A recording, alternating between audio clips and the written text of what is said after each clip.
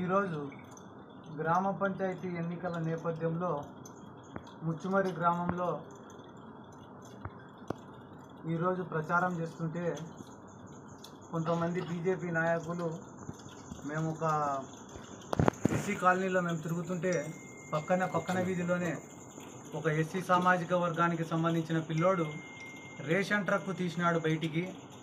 ఎన్నికల కోడ్ అమల్లో ఉన్నప్పుడు రేషన్ ట్రక్ ఏ రకంగా బయటికి తీస్తారని చెప్పి బీజేపీ నాయకులు మా గ్రామానికి సంబంధించిన వాళ్ళు కొంతమంది నందికొట్కూరు టౌన్కు సంబంధించిన వాళ్ళు కొంతమంది కర్నూలుకు సంబంధించిన కొంతమంది మహిళలు కూడా ఒక దళితుడి పైన దాడి చేయడం ఆ రేషన్ ట్రక్కును ఆపడం డ్రైవర్ని బయటికి లాగి కొట్టడం ఎందుకు అడ్డం పడినారమ్మా నాకు నా వెహికల్కి అని అడిగిన పాపానికి ఆ పిల్లోడిని కొట్టడం వ్యాన్లో నుండి బయటికి లాగడం బయటికి లాగడమే కాకుండా మాకే ఎదురు మాట్లాడతావారా? మా కాళ్ళు మొక్కాలా? మాకు క్షమాపణ చెప్పాలా? అని బీజేపీ నాయకులు అనడం మీకు క్లియర్గా వీడియోస్లో కూడా కనపడుతుంది ఇప్పుడు. ఆ వీడియోస్ చూస్తే మీకే అర్థమవుతుంది. ఎందుకు వాళ్ళు ఆ లెవెల్లో ఉన్నారంటే మా ముచ్చుమరి గ్రామం దాదాపుగా ఈ గ్రామ చరిత్రలో ఎప్పుడు కూడా ఎన్నికలు జరగాల ఇక్కడ గ్రామ పంచాయతీ ఎన్నికలు. ఎప్పుడు కూడా ఏకగ్రీవం కిందనే పోయినాయి. ఎవరిని పెట్టుకున్నారా అభ్యర్థుల కింద అంటే వాళ్ళ ఇంట్లో పనిచేసే గాసగాళ్ళను వాళ్ళ కింద పనిచేసే వాళ్ళను పెట్టుకున్నారు తప్ప స్వేచ్ఛగా ప్రజలు వచ్చి ఎన్నికలలో పాల్గొని ఓటు వేసే పరిస్థితి ఎప్పుడు కూడా ఈ ముచ్చుమారి గ్రామంలో లేదు.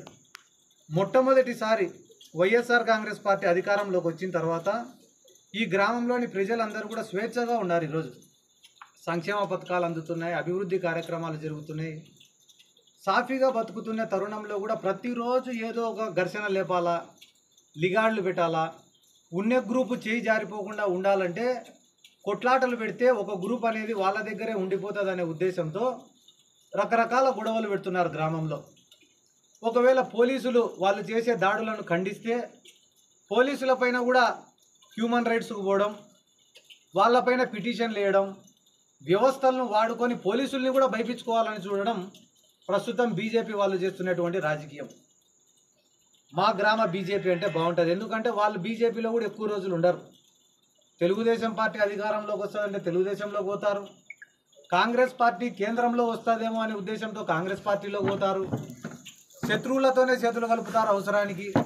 ఆ తర్వాత మళ్ళీ ఈరోజు వైఎస్ఆర్ కాంగ్రెస్ పార్టీ రాష్ట్రంలో అధికారంలోకి వచ్చింది కాబట్టి వాళ్ళ ఆస్తులు వాళ్ళ దౌర్జన్యాలు అన్నీ కాపాడుకోవడానికి మళ్ళీ ఈరోజు బీజేపీ పార్టీలోకి పోయి అమిత్ షా మోడీ కన్నా వీళ్ళే బీజేపీ పైన ఎక్కువ శాంతియుతంగా మేము ప్రచారం చేస్తుంటే ఈ రేషన్ వాహనం ఏదైతే ఉందో దాంట్లో లిక్కర్ బాటిల్ తీసుకెళ్తున్నారు అని చెప్పి మాకు చెప్తే వీళ్ళు కొంతమంది ఆడ ఊర్లో వాళ్ళు అడ్డుకున్నారు. అడ్డుకున్న సమయంలో మన మహిళా మోర్చా ఎవరైతే ఉన్నారో వాళ్ళు కనిపిస్తే వాళ్ళ పైన అటాక్ చేశారు. నేను ఆ అటాక్ని ఆపుదామని చెప్పి నేను వెళ్ళినప్పుడు నా పైన కూడా అనవసరంగా అసభ్యకరంగా మాట్లాడారు. అన్ని వీడియోలు అన్ని ఉన్నాయి. దాని తర్వాత వాళ్ళ అమ్మ ఎవరైతే ఆ క్యాండిడేట్ ఉన్నారో అసభ్యకరంగా మాట్లాడారో వాళ్ళ అమ్మ వచ్చి నా కాళ్ళపైన పడి అమ్మ మా కొడుకు చేసింది తప్పు. క్షమించండి. నేను బుద్ధి చెప్పుకుంటాను. నా కొడుకుకి నేను చెప్పుకుంటాను. అని చెప్పి అన్నారు.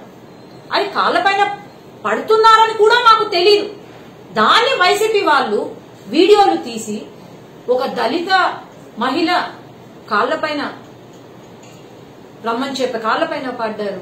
ఎంత అవమానం.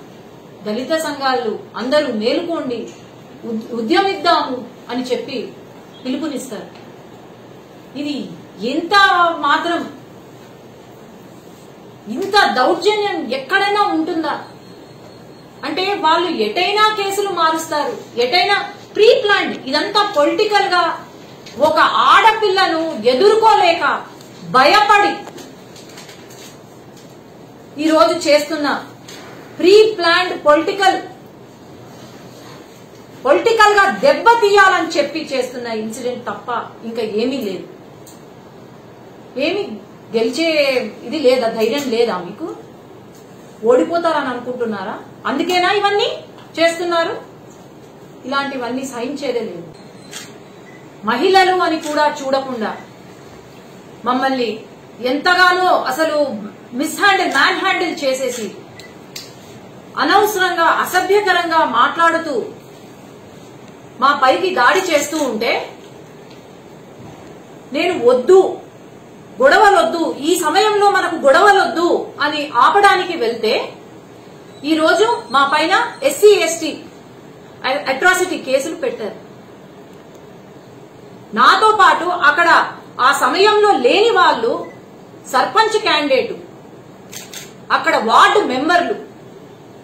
తర్వాత మేము ఎవరైతే ఏజెంట్లను కూర్చోబెట్టాలనుకుంటున్నామో వాళ్ళను అందరినీ మధ్యరాత్రి పన్నెండున్నరకు అరెస్ట్ చేసి ఎక్కడికి తీసుకెళ్తున్నారో కూడా చెప్పకుండా తీసుకెళ్ళిపోయారు.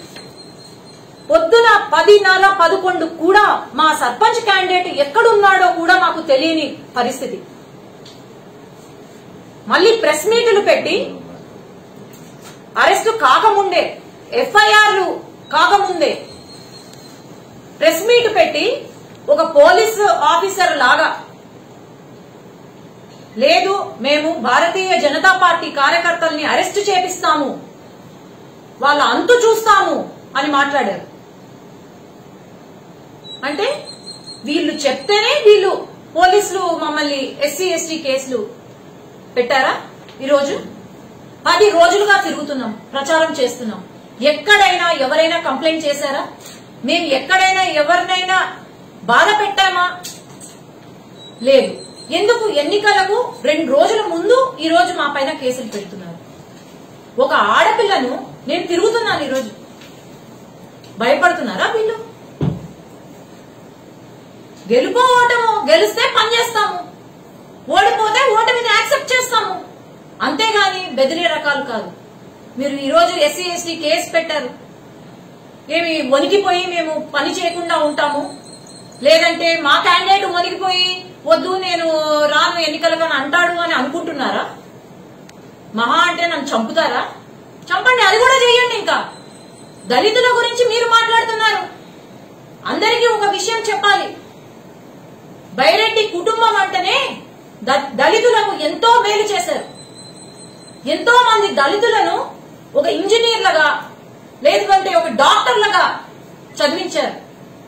నిన్న జరిగిన ఇన్సిడెంట్ ఏదైతే ఉందో అక్కడ అక్కడ వాళ్ళని అడగ కనుక్కోండి. అక్కడ ఉన్న దళితులే చెప్తారు మీకు. అసలు ఏం జరిగింది అనే విషయం. కానీ ఇక్కడ ఏ వాస్తవాలు తెలియకుండా ముందు వెనకాల కట్ చేసేసి ఆ ఫోటోలు పెట్టి వీడియోలు పెట్టి ఈరోజు అందరూ దళితులారా అందరూ ఉద్యమిద్దాం అని రెచ్చగొడుతున్నారు. ఇప్పుడు వరకు ఊర్లో వాళ్ళను రెచ్చగొట్టారు. ఊర్లో వాళ్ళను బెదిరించారు. ఇప్పుడు ఏకంగా ఇంట్లో వాళ్ళను కూడా బెదిరించే స్థాయికి దిగజారిపోయినారు వీళ్ళు. అసలు కొంతమంది నాయకులు ఉన్నారు. వైసీపీ పార్టీలో ఇప్పుడు ఎవరైతే మా పైన కేసులు పెట్టినారో వాళ్ళ ఏజ్ ఎంత వాళ్ళ వయసు ఎంత వాళ్ళ స్థాయి ఎంత? పేరు వచ్చిందే బైరెడ్డి కొడుకుగా వచ్చాడు. అప్పుడు గుర్తుకు రాలేదా? మా నాన్న ఎవరో గుర్తుకు రాలేదా వీళ్ళకు మళ్ళీ అవసరం తీరిపోయిన తర్వాత ఈ రోజు వాడి వయసుకు మించి మాటలు మాట్లాడుతున్నారు. ఇదా మంచి చేయాలనుకుంటే ప్రజలకు మంచి చేయండి. ఎస్ మా నాన్నగారు చేశారు మంచి చేశారు. నేను గర్వంగా చెప్పుకుంటాను. అక్కడ ఎవరైతే దళితులు ఉన్నారో వాళ్ళని చదివించారు ఊరిని మంచి చేశారు రోడ్లు వేశారు ఎంతగానో మంచి చేశారు. నేను ఒక డాక్టర్గా నేను నాకు పేషెంట్లు వస్తే నా దగ్గరికి పేషెంట్లు వస్తే నువ్వు దళిత లేకపోతే నువ్వు రెడ్డా కమ్మానా అని నేను అడుగుతానా? ఒక డాక్టర్గా నేను ఎవరికైనా నేను ట్రీట్మెంట్ ఇస్తాను. అక్కడ ఉన్న వాళ్ళకి నేను వాళ్ళ వాళ్ళకు ట్రీట్మెంట్ ఇచ్చిన డాక్టర్ని నేను. అలాంటిది ఈ రోజు నేను దళితుల పైన నేను అన్యాయం చేస్తానా?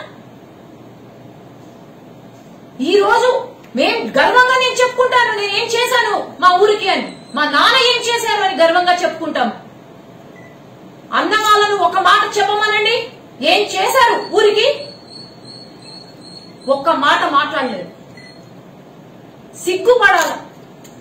వైసీపీ పార్టీలో ఉన్న నాయకులు వైసీపీ ఎవ ఏదైతే రిజర్వేషన్ కాన్స్టిట్యున్సీలో ఉన్నాయో దళిత ఎమ్మెల్యేలకు కూడా విలువ ఇయ్యని వాళ్ళు ఈ రోజు మీరు గమనిస్తే పది రోజుల క్రితం అక్కడ దళిత ఎమ్మెల్యే వాళ్ళ కావాల్సిన వాళ్ళు అందరినీ చెట్టు చింపి కొట్టుకుంటూ తీసుకెళ్ళారు.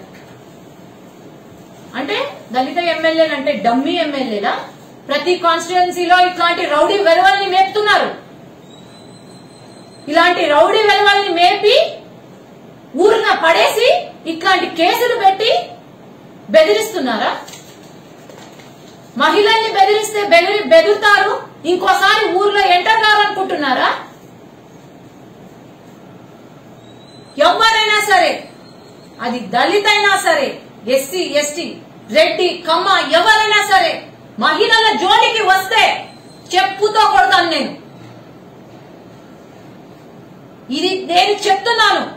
మహిళల జోలికి వచ్చి మహిళల పైన అఘాయిత్యాలు చేసుకుంటూ వస్తే గనక సహించేది లేదు. అది ఎవరైనా సరే. కానీ ఇలాంటి ఫాల్స్ కేసులు పెట్టి అసలు మా కర్మ ఏంటంటే ఇంట్లో వాళ్ళే అక్కాని కూడా చూడకుండా పక్కన వాళ్ళతో కేసులు పెట్టించి అదే వ్యక్తితో అక్కపైన ఎస్సీ ఎస్టీ కేసులు పెట్టడం అనేది ఇంత కన్నా దుర్మార్గం ఇంకెక్కడైనా ఉంటుందా? ఇప్పుడు కొత్తగా వైసీపీ పార్టీలో విడిపోయినారు. అన్న చెల్లెళ్ళు అక్క అన్న అక్కనో మరి విడిపోయినారు. అట్లనే ఇంకా అది ఫ్యాషన్ అనుకుంటున్నారేమో. అక్కల పైన అమ్మల పైన కూడా కేసులు పెడుతున్నారేమో మరి. మేము సహించేదే లేదు. దేనికైనా తెగిస్తాం. గెలిపో ఓటమో. ఖచ్చితంగా మేము నిలబడతాము. తర్వాత చూసుకుంటాం. జరిగేదేదో జరుగుతుంది. అరెస్ట్ చేస్తారా చేసుకోండి. చంపుతారా చంపుకోండి. మేము సిద్ధం. దేనికైనా సిద్ధం మేము ఏంటండి? వీడియో నచ్చిందా? అయితే ఓ లైక్ వేసుకోండి. లేదంటే ఓ కామెంట్ చేయండి. ఎప్పటికప్పుడు మా వీడియోస్ చూడాలంటే సబ్స్క్రైబ్ చేసుకోండి.